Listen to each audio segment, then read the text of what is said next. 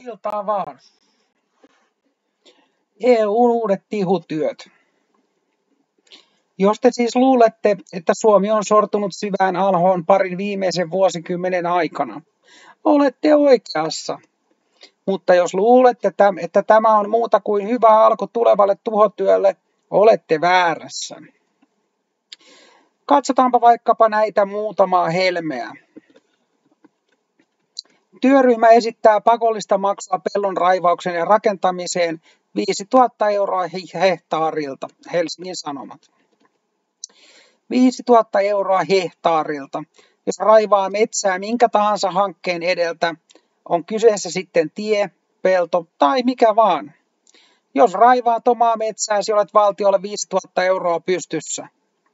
Perustelu on tietenkin ilmasto. Mikäs muu? Ja sinun yksityisyys, yksityisyysomaisuuden suojallasi on taas suoraan sanoen pyyhitty persettä. Mutta tämä on vasta alkusoittoa.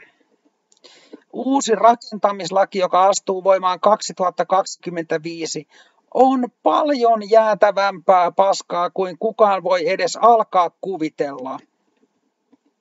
Tästä kertoilee Ville Ranta Twitterissä, nykyisessä Xssä. Rakentamisessa pitää laskea kaiken hiilijalanjälki. Yksittäisen tuotteen osalta hiilijalanjäljen laskenta pitää sisällään raaka-aineen, tuotannon, pakkaamisen, rahtaamisen, oletetun käyttöiän sekä hävittämisen aiheuttamat päästöt. Ja tämä tehdään ihan kaikille tuotteille ja töille. Uusi rakennuslaki vaatii, että luvanvaraisen rakentamisen alaiset urakat pitävät jo lupahakuvaiheessa sisällään nämä laskelmat.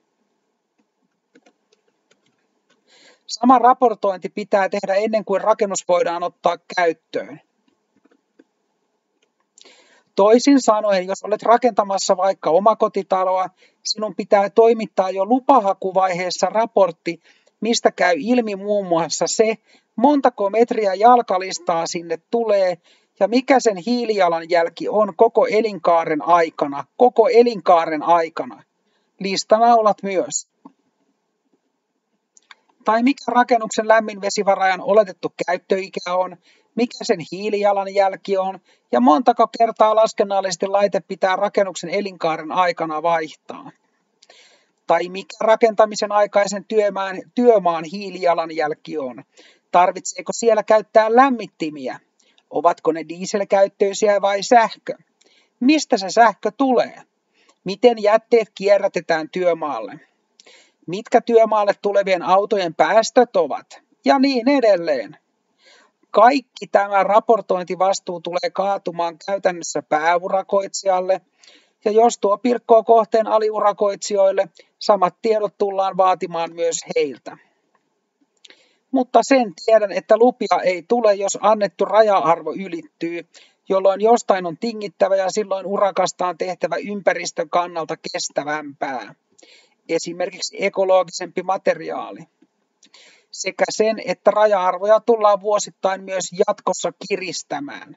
Toistan, raja-arvoja tullaan vuosittain jatkossa kiristämään. Sun pitää tietää ennakkoon paljonko sun rakennus tuottaa päästöjä siitä hetkestä, kun sitä aletaan rakentamaan, kun sitä käytetään, siihen saakka kun se aikanaan puretaan. Ja tämä pitää tietää tuote- ja asennustasolla, kaiken työn ja tavaran osalta. Voisi sanoa, että mitä enemmän tähän asiaan tutustuu, sitä mahdottomammalta se tuntuu. Mutta vuosi on lyhyt aika, eikä ole mitään syytä, miksi tämä ei toteutuisi. Ja tämä koskee kaikkia luvanvaraista rakentamista, autotalleista kauppakeskuksiin, sairaaloista siltoihin. Tähän ei varmaan tarvitsisi lisätä mitään.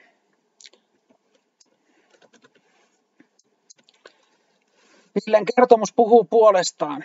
Sosialismi etenee ja byrokratia räjähtää sellaiseen mittakaavaan, ettei sitä kykene kukaan edes kuvittelemaan. Erilaisia napinlaskijoita joudutaan palkkaamaan tuhansia, niin rakentajan kuin valtion kautta kunnan puolelle laskeskelemaan rautanaulujen ja lattialistojen hiilidioksidikuormitusmääriä.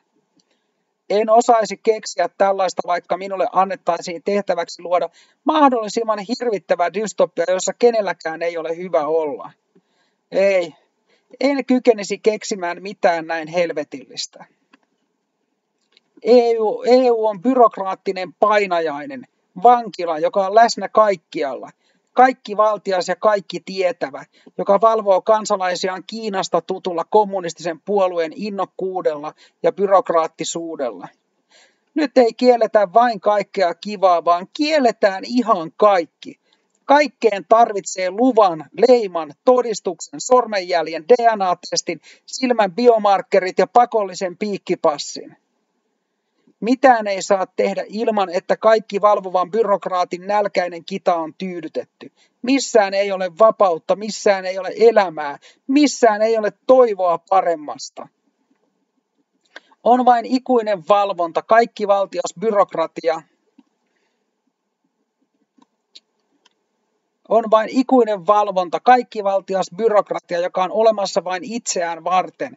Ja se, ettei ihmiselle jää pian, pian tilaa edes hengittää, lihan syömisestä tai autolla ajamisesta puhumattakaan, on vain pieni kuoppa Euroopan unionin jumalaksi julistautumisen moottoritiellä.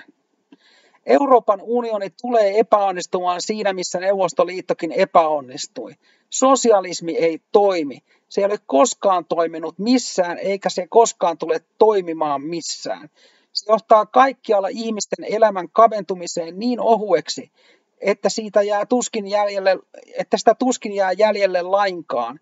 Ja kun tilanne pahenee vuosia vuosikymmen toisensa jälkeen, kaikki uutta luovat ja yrittämiset työhaluiset pakenevat tällaisesta vankilasta.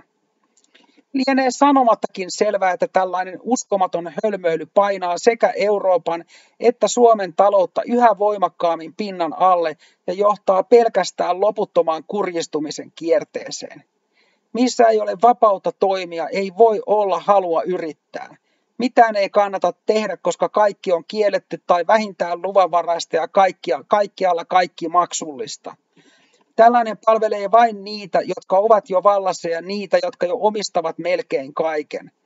Byrokratian mittava lisääminen tukee suurkapitalisteja ja tekee pienten ja keskisuurten yrittäjän toimimisen markkinalla mahdottomaksi koska vain suurilla toimijoilla on varaa palkata kaikki napinlaskijat tyydyttämään byrokraattien loputtoman valvonnan himon.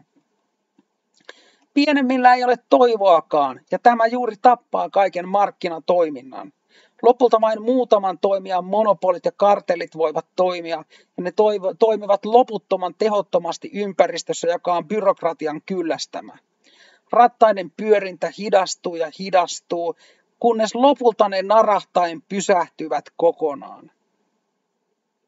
Sen jälkeen ei enää kulu loputtoman kauaa, kuin alu, kun alueelle vangitut ihmisraasut jälleen pyrkivät vapauden ja leivän maahan, hinkuvat ja haluavat länteen sen toivossa, että siellä saisi vielä tehdä jotakin, olla jotakin, edes yrittää jotakin ja kaiken tämän hölmöilyn ainoa voittaja on Amerikan Yhdysvallat. Kiitos kuuntelusta.